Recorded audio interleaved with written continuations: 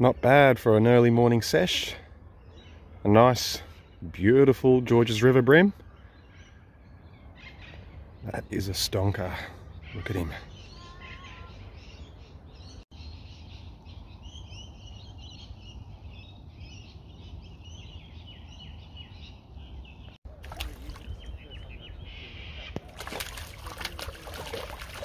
Blackfish. And a flatty on a poddy mullet.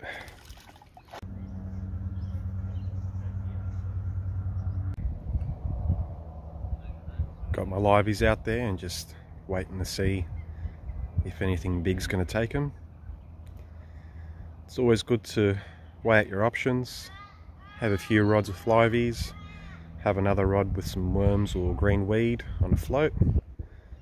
If one doesn't work, the other one will. But fishing's great. Catching fish is just a bonus.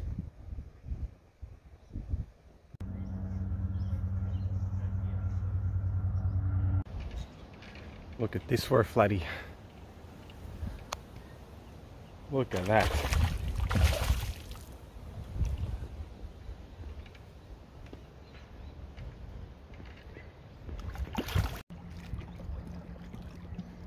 Another very decent Georges River bream.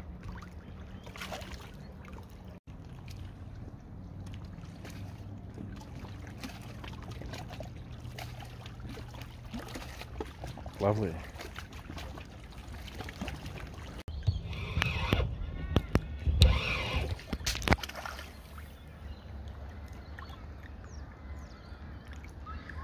It's a bream kind of a day.